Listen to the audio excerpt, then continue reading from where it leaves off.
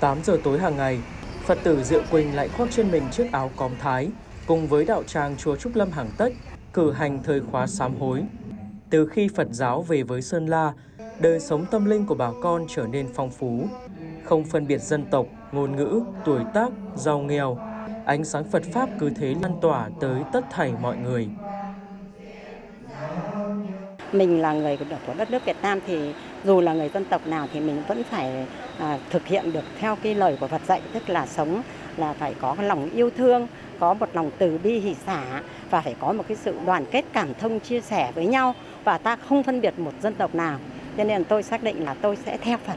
tôi sẽ xuất hết lòng để đi theo Phật, là con của Phật, là một Phật tử tốt. Thực ra là những năm trước thì chưa có chùa, cho nên là đi lại nó cũng khó khăn thì cũng có đôi lần là đi các chùa miền xuôi. Thế nhưng mà từ ngày mà Sơn La thành lập chùa đến nay thì à, chúng tôi rất được được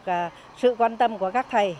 và các đồng tu trước giúp đỡ và cũng là tạo điều kiện để cho, cho chúng tôi hàng ngày đến chùa để tu tập.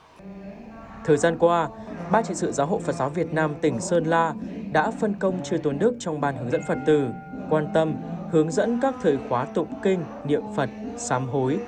Những lúc chưa tôn đức bận Phật sự, không thể thường trực tại chùa, quý Phật tử vẫn nỗ lực, chủ động và tự giác duy trì nếp sinh hoạt. Nhờ đó mà có những thay đổi trong suy nghĩ và hành động hướng đến giá trị chân thiện mỹ. Khóa tu như vậy, à, thường nhật như vậy cũng đã trở thành một cái nét đẹp cũng như trở thành một cái món ăn tinh thần à, cho bà con, cho Phật tử của tỉnh Sơn La để cùng nhìn lại bản thân và tự hướng tới cuộc sống tốt đẹp, à, tự à, sám hối và để đưa tới cuộc sống cho bản thân, cho gia đình được an lạc và xã hội được hướng tới những điều bình an.